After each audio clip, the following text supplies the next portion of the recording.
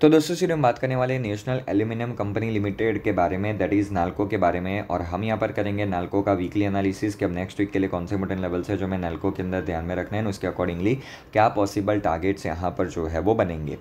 अब देखो दोस्तों नेशनल एल्यूमिनियम की अगर हम यहाँ पर बात करें तो हमने रिसेंटली दैट मीन सितंबर मंथ के अंदर भी इस स्टॉक को कवर किया था, जब यहाँ पर ये stock easily hundred and seventy rupees के प्रीवियस सपोर्ट से हमें एक रिकवरी लेता हुआ देखने को मिल रहा था।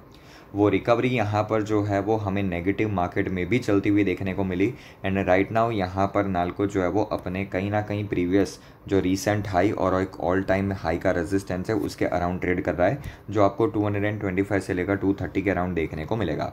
अब ओवरऑल जितने भी यहाँ पर मेटल सेक्टर के स्टॉक्स है, वो सारे के सारे अगेन पॉजिटिव है। तो अगर मान लो नेक्स्ट वीक में नालको टू हंड्रेड के लेवल को ब्रेक करके ऊपर निकलता है, अगर आप चाहो तो यहाँ पर इसको ध्यान में रख सकते हो और अच्छे खासे अपसाइड्स आपको यहाँ पर फिर देखने को मिल सकते हैं।